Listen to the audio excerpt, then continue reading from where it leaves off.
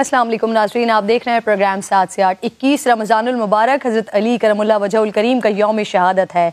उन्नीस रमज़ानुल मुबारक, फजर के वक्त हालत सजदा में इब्ने मुलजिम ने हैदर करार पर पीछे से वो वार किया कि दो दिन बाद आपकी शहादत हो गई।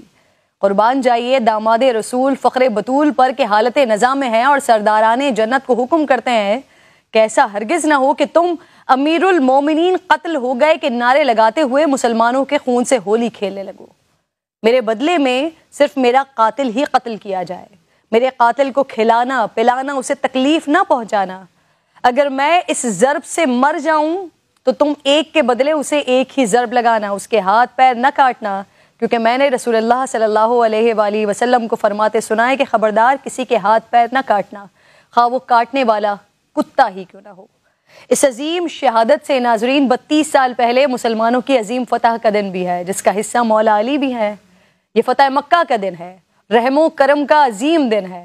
आठ साल बाद, हिजरत के आठ साल बाद अल्लाह रब्बुल इज़्ज़त ने अपने महबूब को ऐसी ताकत और ऐसा गलबा अता फरमाया कि वही मक्का मुकरमा जहाँ कुफ़ार, गरीब और नादार मुसलमानों पर जुल्म करते थे, आज महबूब खुदा इस शान और शौकत के साथ मक्का मुकरमा में दाखिल हो रहे हैं।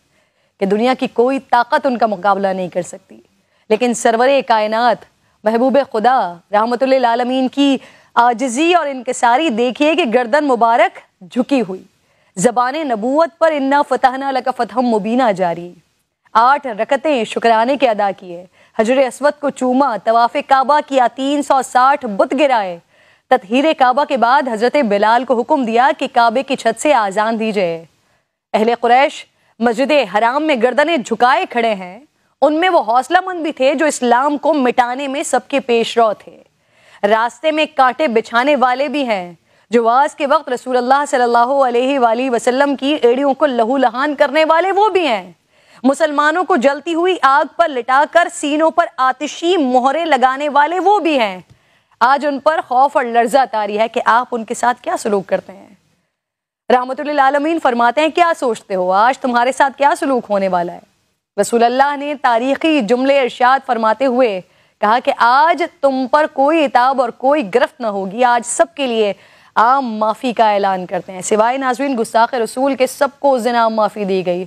रसूल खुदा की हर एक अदा हमारे लिए बायस सबक है। अगर आप भी किसी से खफा हैं तो आज माफ़ कर दीजिए। हम में बेहतर वो शख्स है जो ताकत रखते हुए भी दुश्मन को माफ़ कर दे। हम तो किसी को पार्किंग पर थप्पड़ लगा देते हैं, गलत पार्किंग पर। वहाँ जानी दुश्मनों को माफ़ियाँ दे दी जाती हैं। हमें देखना होगा कि हम पैरवी किसकी कर रहे हैं।